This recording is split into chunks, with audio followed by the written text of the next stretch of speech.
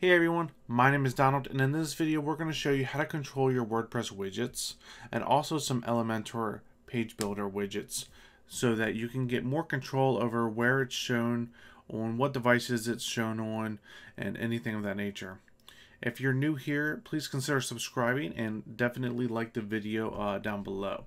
If you have any questions, go ahead and let me know in the comments below and I'll be happy to answer them. So let's get started. This plugin is called Widget Options, and you're able to do quite a bit with this plugin. You can go ahead and if you visit their site at widget-options.com, it'll show you a little bit about what they can do. So page visibility, so you can hide certain widgets on different pages, on certain devices, have it on a custom alignment. Um, show and hide based on whatever user roles there are. There's a lot of options with this, especially with the days and dates visibility. This is something that I have been looking for personally for a few sites, and this is this is definitely going to be um, a game changer for me at least. If you go ahead and you keep scrolling down, you'll see a bunch of different options.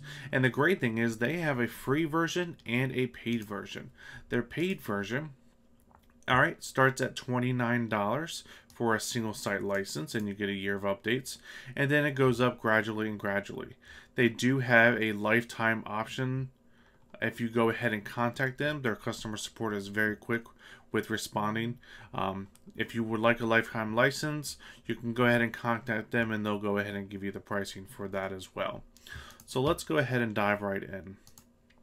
So as you can see here we are inside of our dashboard. Let's go ahead and navigate back once you go ahead and navigate to plugins and click add new, you can go to and search plugins for widget options.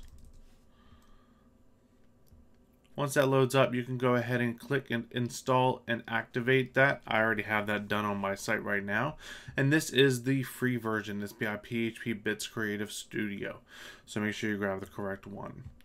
Now once you go ahead and get that, you have a new settings menu underneath of settings and go to widget options.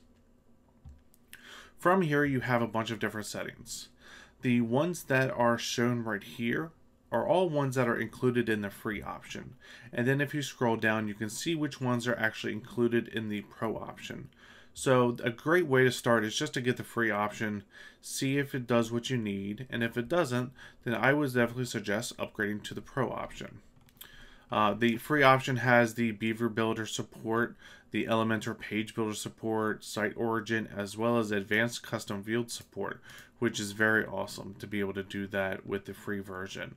Um, there's a lot of different uh, device restrictions, page visibilities, things of that nature. And if you're not using any of these, they're already they're already enabled by default. But if you're not using any of these, then you can go ahead and just disable those.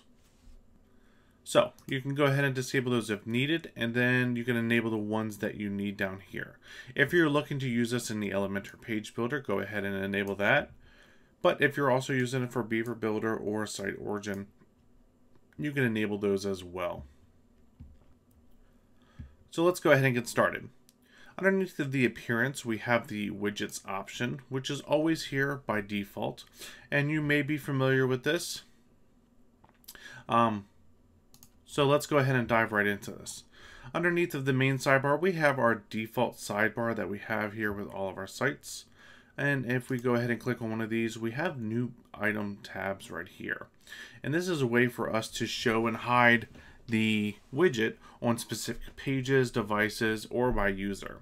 So for example, if you have something where you can um, if you have a membership site and you have a sidebar with content, you can go ahead and show or hide this on certain pages. And you can also um, do it on devices. So you can show or hide on different devices, show on check devices or hide on the check devices. So you can hide it on desktop or tablet and just show it on mobile or just show it on mobile, for example. You have the alignment options. So for the pro version, you'll have to upgrade to that if you want to do the multiple de uh, devices for the alignment and the additional widget options. But for example, you're able to go ahead and center this left, right, justify, whichever you want on all the devices. And of course, we have our user login state. So if this is only shown for people who are logged in, you can go ahead and click this option here. If you only want to show it for people who are logged out, for example, you want to show them, hey, become a member, and you can go ahead and, and get this perk and this perk, and you show this for only logged out users. That way people who are already logged in and already have a membership don't get nagged by you trying to upsell them or just sell them on something that they already have. So this is really useful for that. For the logged in users, you can show this uh, based on content. So if they have a membership, you can only show them things uh, if they have a membership. So that way you can hide um, anything that you want to show them uh, until they pay for it. So we have those options. And then there's a couple different things. So you can hide the widget title. You can add a class and ID to this. Um, so you can go ahead and style this separately. And of course you have logic. So if you want to work with your conditional tags um, or any uh, PHP code that you want to add to this, you can go ahead and do that as well. So there's a lot of different options. So for example, we have the main sidebar. We can go ahead and show or hide this on any of the miscellaneous pages. Um, we can also choose post types. So the pages right here you can see that we have all of our pages listed right here. And then we can actually show or hide this here based on which one we check here. Which, and then we have our taxonomies. So if you have a sidebar that's set for all of your taxonomies, you can just show certain things based on different categories and things of that nature. Underneath of the tabs, you have the WordPress pages and the ACF. So we were working under WordPress pages. This is the ACF. So this is when you can actually show or hide different widgets based on if a condition is met for your custom field. And for custom post types, you have something called custom fields. And those are basically assigned to a post type that you select. And I'll show you the, an example in just a bit. So you can show this when the conditions are met. So if you choose a field, so for example, like I have this on a, on a live site, on a, on a development site right now, that I'm building for a client, and it's a funeral home. So if any of their um, birth date is empty, so if it's if it's empty or not empty, and you can actually set it so if it's equal to or or does not equal to or contains or doesn't contain, you can do those as well. Um, these, if you choose these four right here, then you can put your conditional value down here. So for example, if a birth date contains a specific date that you want to have in here, then you can go ahead and show this widget on that page. Uh, if you're going to choose is empty or not empty, then of course you can leave this conditional value empty uh, because it will check to see if there's any text in the field or if there's any value in the field. And if there is or isn't, it will go ahead and do whatever you need it to do based on those uh, values. So there's a lot here. Um, now, what I'm mainly going to be using this plugin for is to show or hide specific value, uh, specific fields on the front end of a website on a single uh, post template. So let me show you what I'm working on. Let's navigate to under the template. And we have a few things here. So let's go to the single service main. And once this loads up, we have a few different things here to, to check out. Um, so we have a bunch of different custom fields. Everything here is pulled in dynamically. The image, the uh, the content right here, all of these badges, and then all of this down here is being pulled in dynamically. So let's say we want to hide something if, if there's an empty field. So for example, we want to hide this date if this text is empty. Okay, so we'll hide this date if this text is empty. So we click on this date right here, go underneath the advanced, and we have the options over here underneath of the gear to have the advanced custom fields. So we want to hide the the date right here, or I'm sorry, we want to hide this this uh, date right here when this time is empty. So we want to hide the condition when the conditions are met. Select the field. So the field there is going to be called the interment time. Here it is. Okay, so this is the interment time. And if this is empty, then it's going to hide this date right here. So let's go ahead and show you a real life example. Alright, so this is our normal post type right here. So let's go ahead and remove the time and then we'll watch this disappear. Let's go ahead and edit the service. Let's remove the interment time.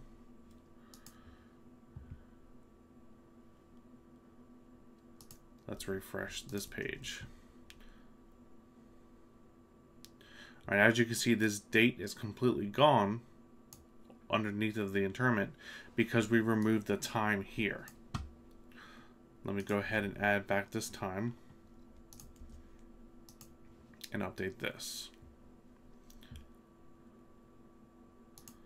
Let's go ahead and refresh this page. And we can see that we have the, the date back and the time back because there is a value inside of this time field. Let me show you guys another option that you guys may relate to more. Okay, so we have designed a custom portfolio. And right here we have the featured image being pulled into this background right here. This is uh, the project title right here, so the post title. And then we have all of this information down here being pulled in dynamically as well. Project information, the skills, the description, things of that nature. We have a, a gallery from Advanced Custom Fields. We have a YouTube video, and we have the featured image being shown here again. So the way you can use this is if we have a featured image and a video, but we don't want there to be duplicate featured images on the page because we already have this one up here.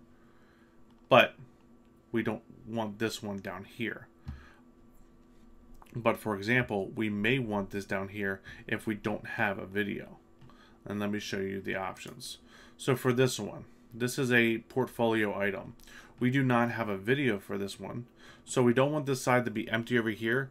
So we want to include the featured image since there is no video.